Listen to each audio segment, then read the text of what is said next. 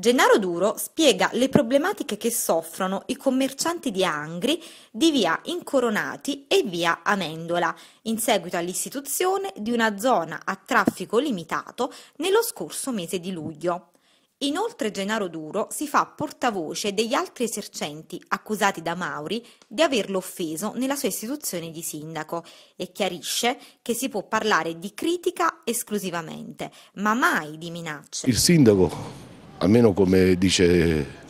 a detta sua, è il padre di tutti. E il padre di tutti dovrebbe preoccuparsi del, diciamo, del, del problema che c'è in quella strada, perché noi non riusciamo a spiegarci perché 80 metri di strada, di strada servono a stare chiusi, quando poi lui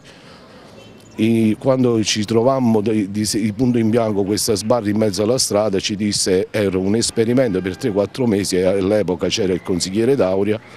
che ci disse no noi stiamo approntando il piano viabilità dopo il piano viabilità eh, chiuderemo tutto il centro storico per mettervi tutti allo stesso livello cosa che sono nove mesi non è stato fatto in quanto perché io dovrei vendere un pacchetto di sigarette e gli altri tre, eh, perché quello deve vendere eh, tre capi di abbigliamento e l'altro uno, cioè, e così via dicendo, quando i nostri clienti ormai se, eh, stanno facendo il giro trovano più comodo fermarsi vicino all'esercizio che gli, dà, gli, gli consente la fermata, non parlo di sosta, la fermata a noi ci stanno dimenticando, hanno il terrore di entrare nella strada perché si trovano i vigili addosso in, proprio in modo... veramente non sappiamo eh, che cosa ha ordinato lui, perché da noi c'è questa punizione in atto.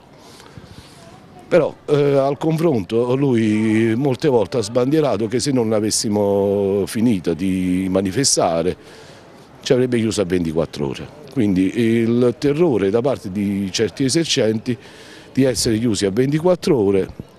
eh, la dice lunga. Gennaro Duro, parliamo di queste minacce che il sindaco dichiara di aver subito. Cosa sono state queste minacce e chi le ha poste in essere? Io eh, non, non, ero presente, devo dire la verità, quando è successo questo fatto increscioso, eh, eh cioè, detto dal sindaco sui giornali che ho letto, io non ero presente. Però poi mi sono informato e sembra che non sia così. Sembra che non sia così, sembra che l'intimidazione sia stata proprio dall'altro campo, eh, che entrando nei pubblici esercizi eh, con un modo di fare che è molto lontano da quella persona che dovrebbe essere secondo me il sindaco che dovrebbe, perché ricordo qualche sindaco ho, ho 55 anni e ricordo molti sindaci eh, si, so, si, preoccupavano più che altro, venivano a parlare da noi, eh, ci chiedevano se avevamo problemi, cioè non c'era questa cosa di muro contro muro così forte che, eh, però ogni sindaco ha il suo carattere e lui ha il suo. Però noi non possiamo sempre sottostare a continue ritorsioni, eh, di chiusure di 24 ore, 24 ore, anche se devo dire che lui eh, ci è venuto incontro eh, da 24 ore, ci ha portato a 4-5 ore di apertura. L'assessore provinciale Antonio Squillante è intervenuto al fianco dei suddetti commercianti. Per il leader cittadino del PDL, la zona a traffico limitato è nata esclusivamente da un capriccio del sindaco ed è stata istituita senza fare analisi di alcun tipo. Noi in Consiglio Comunale con un'interrogazione in diverse circostanze, come dire, avevamo avvisato il, il dottore Mauri che eh, questo provvedimento era un provvedimento inutile e che era dannoso Adesso, come dire, quando le stoviglie si sono rotte, adesso inizia a fare la vittima dicendo appunto che è stato aggredito, che ci sono questi volantini. Però io voglio ricordare al dottore Mauri che anche Ben Ali, Mubarak eh, hanno fatto le vittime e poi abbiamo visto che fine hanno fatto. Lui poi ha anche un'assonanza perché con la lingua mi sa che con l'arabo cioè, ci c'entra e quindi alla fine come si esprime è molto simile a questi dittatori, ma anche